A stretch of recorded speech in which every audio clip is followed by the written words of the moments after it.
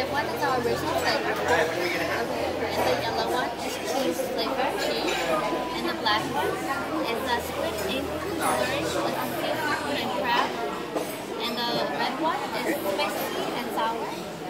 And the green one is ginseng. Ginseng. Ginseng. Okay. Thank you. Thank you. Woo!